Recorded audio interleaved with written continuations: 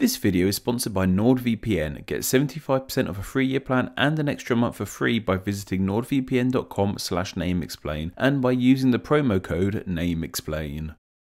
It seems like jobs and working has always been key to human civilization. Even before civilization started to take shape as we see it today, we had members of our tribes taking on certain roles, hunters and gatherers as we hear so often. It is so often that people even become defined by their jobs. For some people it's quite literal however, as in English at least, we see many people with occupational surnames like farmer, baker and smith. These surnames are remnants of the career their forebearers took on. And if you look at these surnames, you'll start to see how we actually form the names of our occupation occupations. While it doesn't apply to every occupation name, a common way to create the name for a job is with derivation. In language terms, derivation is when we add a prefix or suffix to a word to create a new word. Not only does this create new words, but it also changes a word's class completely. As an example, the word wind is a noun, but by adding a y suffix, not only do we create a whole new word of windy, but we change the noun of wind into the adjective of windy. While this was a noun to an adjective, derivation can also be used to change words into other word classes too, and this is how we form form a lot of occupation names. We take the main verb that best explains what you do at that job, then add a suffix to make it a noun. So if the main thing you do at your job is bake, then we take the verb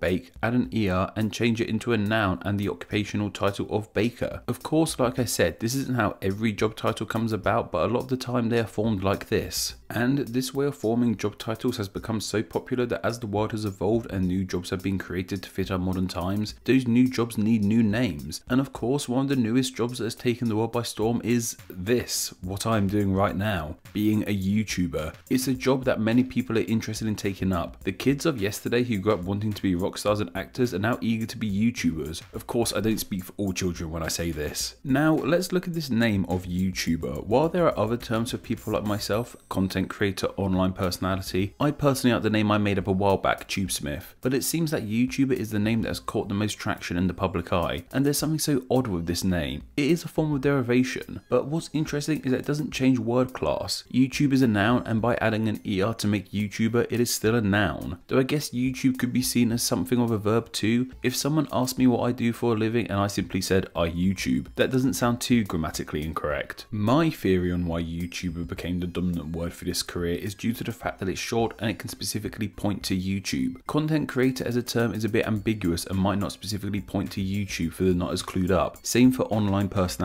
and while I guess the main verb for YouTuber would be something like create or make, a maker and creator are two still a bit ambiguous. YouTuber as a career name cuts straight to the point. Say if someone who makes YouTube videos for a living ends up on the news, because that's never happened before. Thousands of people who don't really know much about online culture will be seeing them for the first time. Content creator and names like that might leave them a bit clueless. YouTuber however cuts straight to the point. If you don't know much about the internet other than how to Google and use Facebook, then hearing someone being called a YouTuber can bring you up to speed. I've heard of YouTube, I know people make a living off of it, so this must be one of them. So how did this name come about? Well I don't think we can find an exact moment it was coined. On Google Trends it seems that the name first started emerging around May 2006, but it really started to kick off in August 2013. Interestingly enough it was in November 2006 that Google brought YouTube, so they clearly knew where this whole thing was going to go. I guess the other big question here is who was the first person to be dubbed a YouTuber? By de facto I guess it would be the user Jawed who uploaded the first ever video, Me at the Zoo, to YouTube all the way back on the 23rd of April 2005. The person in this video is actually Jawed Karim,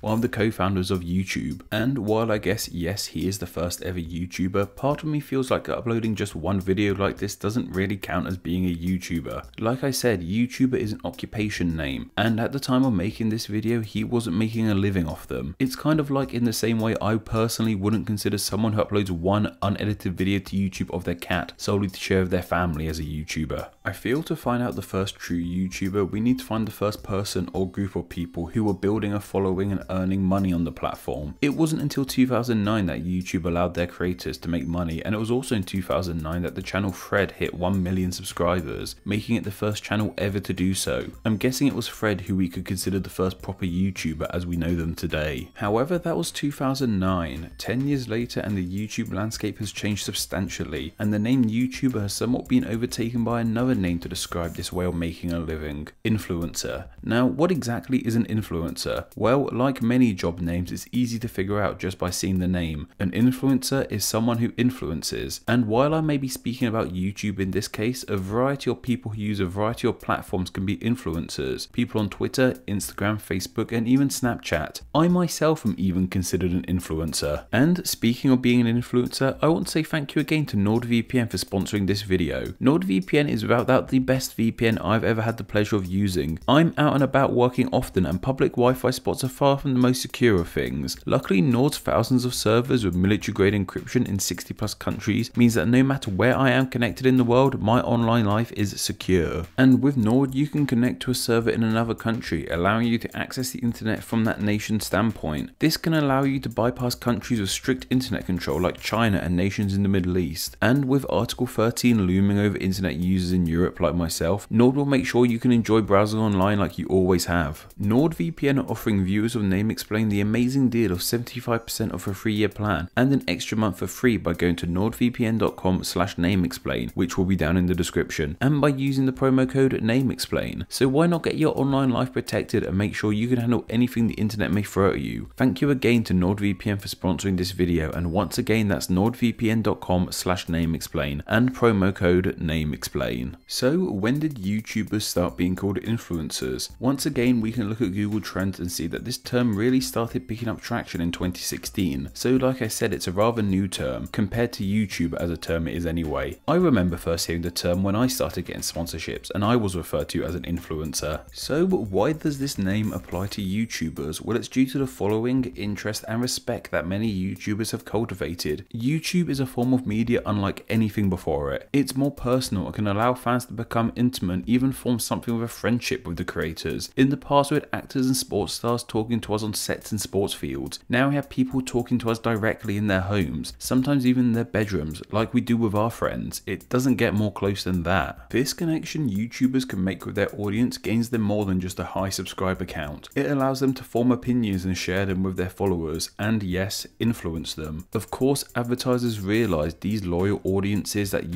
YouTubers were building could be monetized, allowing YouTubers to promote products and of course influence their audience to purchase them. This is part of something known as the attention economy, where attention is treated like a commodity. Someone or something with more attention on them from the public can wager higher prices for the attention and influence they have. What I find interesting however is that with YouTubers now being called influencers more and more often, it really changes what it means to be a YouTuber. As I said, most job names reflect the most important verb of that job. So if we treat YouTube as a verb like we mentioned earlier, then the job name YouTuber puts YouTube front and center. However, with the name influencer, it puts the influencer verb at the front and center. This implies a YouTuber's main job isn't to create fun and entertaining YouTube videos, but rather the main thing you'll be doing at this job will be influencing people, which I'm not saying is a good or bad thing, it's just a thing. And with this job title of influencer, it implies there are different skills you need in the world of making YouTube videos. When I personally went into making videos, the skills I thought I would need were things like video editing, script writing, presenting properly, all that sort of stuff. However, with being an influencer, there are a whole different set of skills you need. Skills in advertising a product and marketing it. Stuff I never expected I would need to know in this career. However, is this really a new thing? While the term influencer might seem like a recent invention, there have been influencers for years. In fact, the earliest kind of celebrity endorsement dates back to the 1760s, when the Wedgwood brand of pottery used a royal endorsement to sell their products. From then, we've had all kinds of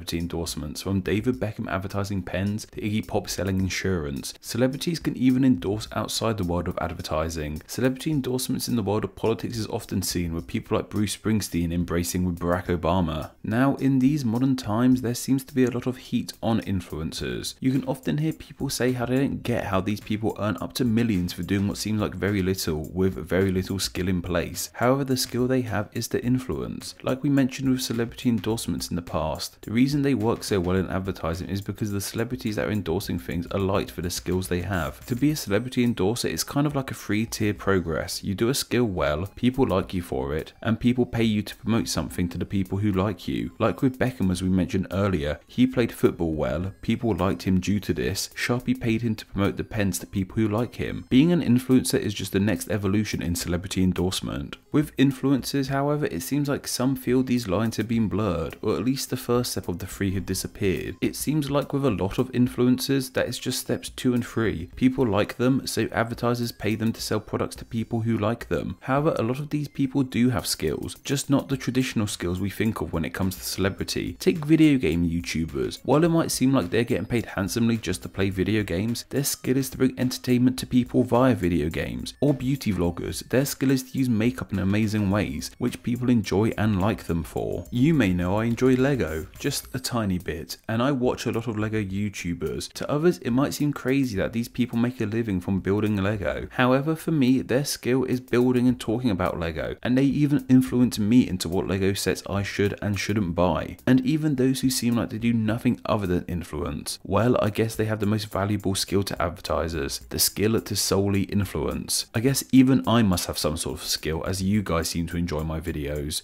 Well, I hope so anyway. And of course, a huge thank you to all the people who support me financially every month on Patreon. Without your support, Name Explain wouldn't exist in the form it does now. Thank you all so much.